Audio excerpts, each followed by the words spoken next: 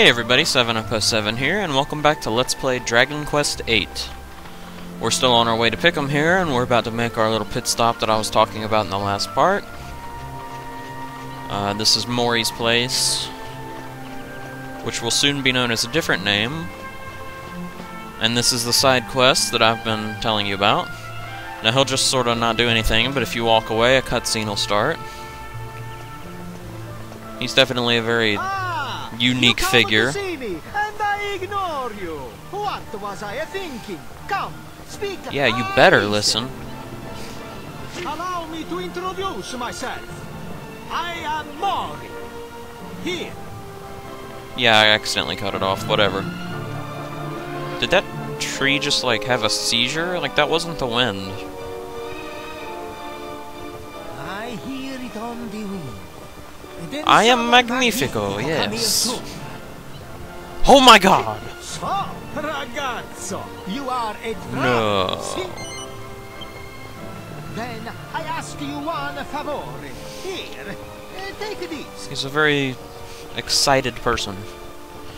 Okay, so he gives you these three pieces of paper, and they have these monsters on them. They're kind of like wanted posters. You take a look at this map. And uh, we've already seen a couple of the monsters. Has written on the informazione of the notorious monsters. Find them, fight them, send them Oh. to me. It is not to worry, ragazzo. For A you, slice of it cake. will be Okay. a slice of cake. I see it in your eyes. This guy scares me. Buona fortuna and good hunting. Yes, so one of them I can think of that we have already passed, if you remember that far back. Uh, when we were going to the, uh... What the hell's it called? That dungeon over by the Abbey, uh, the Ruined Abbey. There was a little, uh, visible knight of some kind, uh, named Lonely Joe, I can remember that. And, uh, that was one of them that is on the memo. And then there's another one that's really close to here, and I honestly don't remember at this moment where the third one is. I'm not really concerned about it at the, at the moment. Uh, but yeah, so, um... Yeah, uh, Pickham is just, uh, hop, skip, and a jump from here, pretty much.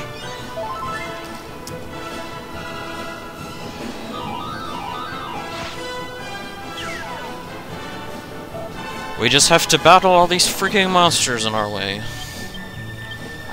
These guys really don't like us getting anywhere productive, do they?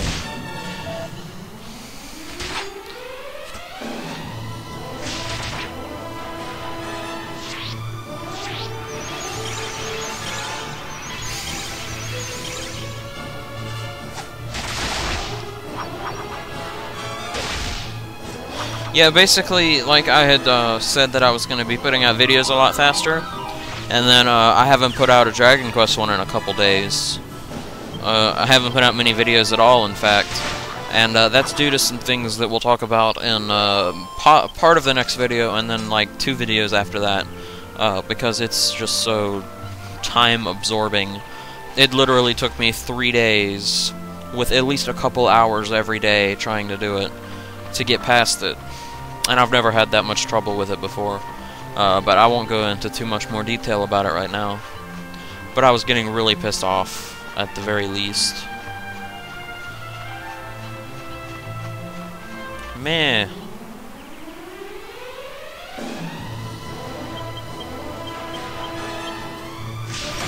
So we won't get a whole large amount of things done in Pickham right now. Well, we will have a few cutscenes, whatever, get some items, you know, basic things. There's a lot of items to get and Pickham, it does take quite a while to do it. Plus, you know, cutscenes and everything, because like I said, a good bit of story takes place. It's not necessarily vital to the main story, this stuff that takes place. But it does, it, it is a pretty big side story that we will involve a dungeon and everything uh, coming up here pretty soon, so...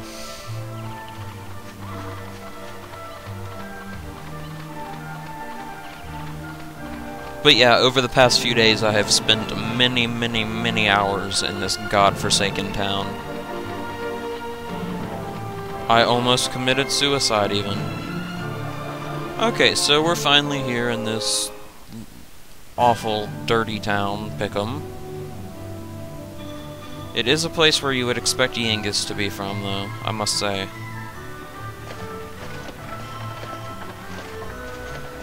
There's a nice market, covered in dirt.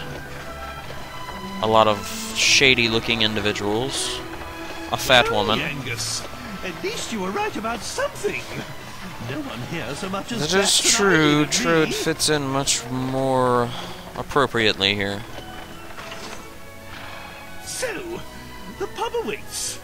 I'll go on ahead and I Yeah, will yeah, yeah. Go get way. drunk, you bastard. You go and find this brains fellow. I'll be waiting for your report.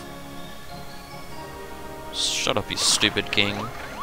I guess I understand we've been on the road for quite a long time now. Waiting? Boozing more like.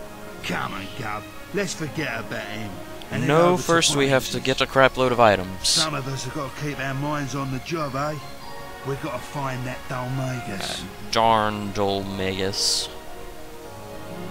His treachery knows no ends.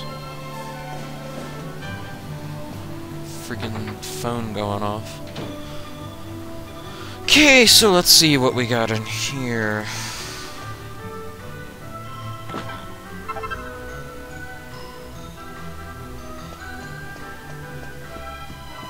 Yeah, you're gonna want to save that, by the way. I know I've said it a few times. Although I do uh, sell a couple things just to get some money in here, I don't recommend you sell anything. Uh, like I said, unless it's something that you know 100% sure that you can buy back at a shop. Uh, you know, like if you need a few extra coins or whatever, and you have like some clothes or whatever, you know, not armor per se, but just clothes or like a boomerang. There should be like a spare boomerang. You can sell that now if you can get more money later, which you will, obviously. So yeah, we're gonna want to buy a couple things here. I can't afford everything right now. Uh, you're gonna want to buy here. You're gonna want to buy two iron shields, and you're also gonna want to buy a dancer's costume for Jessica. There are other options you can get, but I don't recommend you get them because we can either make them in the near future or find a free one. Uh, I mean, unless you're just rolling in money, but even then, I still don't suggest that you purchase it. Uh, let's see. Go down the well here. And this isn't a typical well, there's actually something going on down here. Looks like a dead guy back there. It's not, though. He, like, talks to you if you speak to him whatever. There's some sort of club down here of very large men. I don't really want to know what's going on down here, but you do get uh, a mini medal for one thing, so I don't really care. Let's just uh, get the hell out of here before you get raped. Now, let's see, we can go in this building, find a couple things. No, wrong building. Let's see, we need to go to... Okay, this one right here. This is what I was trying to say. Okay. It's like a little hallway or some of some sort. Yeah, you're gonna want to turn, I think you hit, what, L2 for that? Or maybe R2, I don't remember what the control is. And it'll uh, scan straight ahead and open that door. You get a seed of life. And remember, you can use those seeds anytime you want. I already have explained earlier in my walkthrough uh, what, who to use them on, or who I personally use them on. Uh, if you want to look back, it was sometime way back in Farebury or something, I went over that. Holy water, that's always useful for me. To try to avoid as many battles as possible, which I actually have not been using it recently, and I really need to. So I can make a little bit faster progress.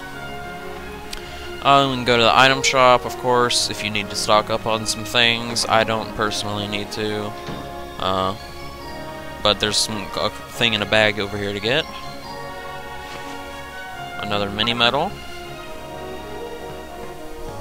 And those mini medals are gonna be like your best friend later. Basically. I believe I already talked about that though. Let's see here. There's another little small hallway you can go in. And there's just a couple items to get here and a bag. Seed of Strength, always useful. And another mini medal. There's quite a few mini medals in this place, isn't there? Okay. So, basically, I'm like running out of time here. Come on, come on, come on, come on. Okay, Cowpat, absolutely unuseful, but oh well. And then, really quickly... Alright, that's it for this part, so I'll see you guys later.